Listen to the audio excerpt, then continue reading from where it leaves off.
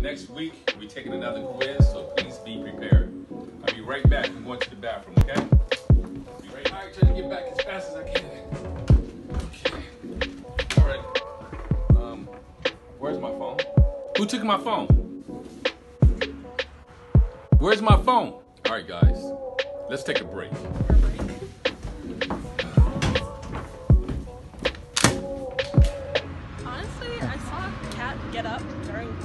So Yeah, I saw that too. it's a high possibility, and we all know she's a liar. Who do you think stole the phone? The short girl with the blonde hair, I'm not sure. I think it was that white dude. Everybody probably thinking it was me, I'm like, it's cool. Manny, Yeah. I believe in you.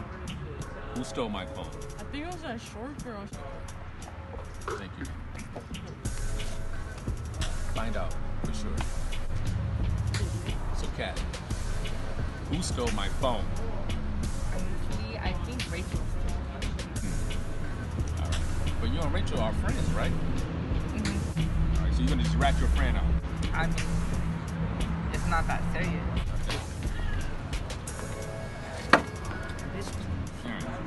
I need to know who stole my phone. Two dollars for the truth, okay? Well, since you're putting it that way, I saw Kat pass by your desk. Any other information I should know?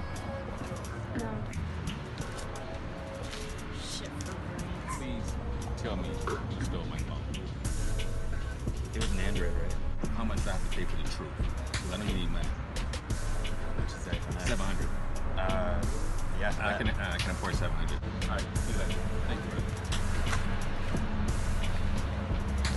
I really trust you. One of my best students.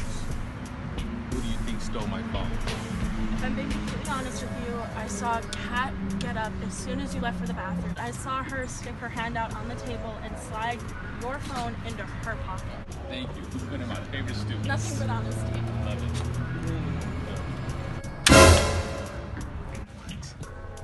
She lied to me. Rachel!